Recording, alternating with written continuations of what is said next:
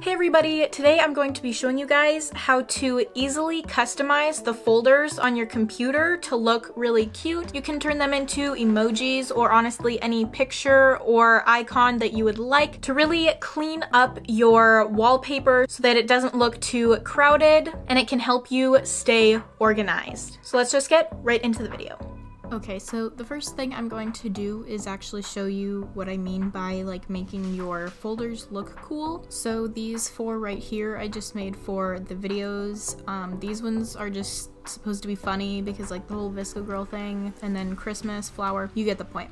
And then I have this one, which is pictures from Bear Country. This is all of my YouTube stuff, so any like end screens or templates for YouTube stuff goes in here. And this one is pictures of the moon. So if I click on that, you can see these are all pictures and videos of the moon. So it's a really great way to organize stuff by using icons. So the first thing you're going to do is go to Google Images or wherever else you want to get images and find one that is PNG so that the background is this um, checkerboard pattern because then the background is transparent and you can use stuff from Google for this because it's just going on your computer and so you're not like selling anything or making any money off of it or putting it on social media or anything like that. So there's no copyright issues here. So you just want to drag it onto your desktop or save it however you'd like to do that. So now you have this emoji here. So you want to go File, New Folder. I'm just gonna call it Love. Um, usually you would already have a folder done, but if you didn't know how to make folder, that's how you make a folder.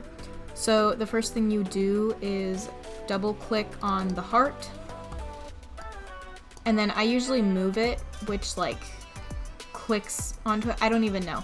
But basically click up here. It doesn't really do anything, but just click up there. Trust me, just do it. And then you want to go to your keyboard and press Command C. And then you can X out of that. And then double click on your folder. And then click on this little gear right here.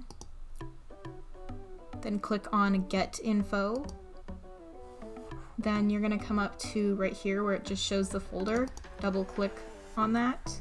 Or I think you can actually just single click, but then go Command V and there you go. Now you have, you can just X out of all this. Now you have a folder that is like an emoji.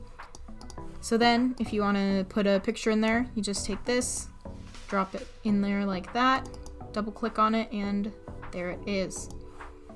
So that's a really awesome way to have folders on your computer without them looking all like foldery, you know, to make them so that they are not boring, so that they look cute and can go with the aesthetic of your computer or wallpaper, you know, whatever you got going on. So that is it for the tutorial. If you have any more questions, ask me in the comments down below.